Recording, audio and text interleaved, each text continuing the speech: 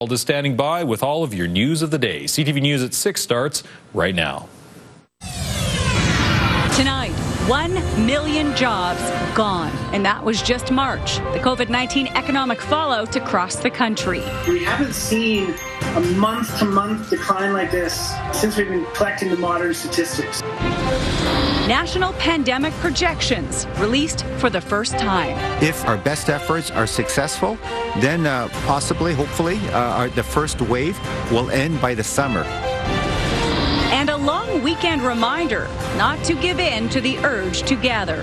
This weekend and the weeks ahead will be a difficult test for all of us. Cloudy and warm today, but there's a cooling trend coming for Friday and the weekend with a high below zero on Saturday.